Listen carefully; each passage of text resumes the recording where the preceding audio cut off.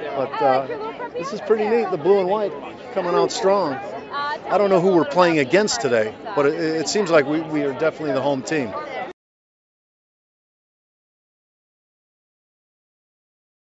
It, it, it's pretty cool. It, it's Animal House, but it's, it's rated G, and the kids can be part of it as well. And my character, I just, just thought it was so funny that here's this guy who, you know, his company downsized and he got laid off, and he's decided to go back to college. And you know, it, it, it's not the Will Ferrell movie or anything, but uh, it, it's a lot of fun. A lot of fun.